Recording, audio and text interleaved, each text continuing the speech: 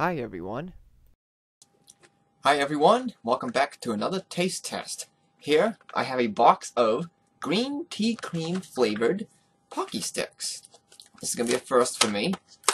I never had green tea flavored candy before. Very seldomly will I drink tea.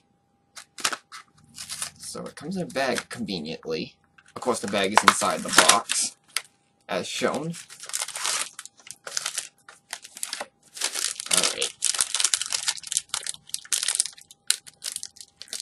So far I've had the chocolate ones and the strawberry Pocky Sticks from one of my Japan crates.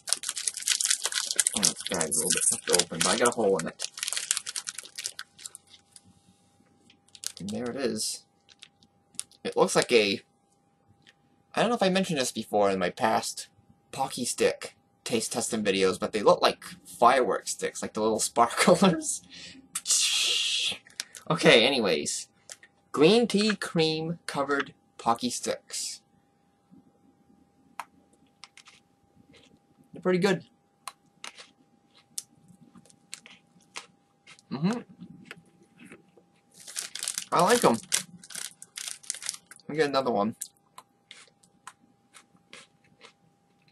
It's got a really distinct flavor.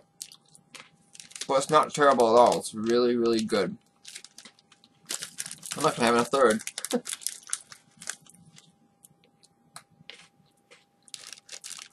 it's definitely not chocolate. Apparently. I had three of these. I guess green tea is good with candy. Alright, I guess that's gonna do it. So yeah. Thumbs up if you want to go for some green tea cream flavored Pocky Sticks. They're really good. Okay, thanks for watching guys, and take care.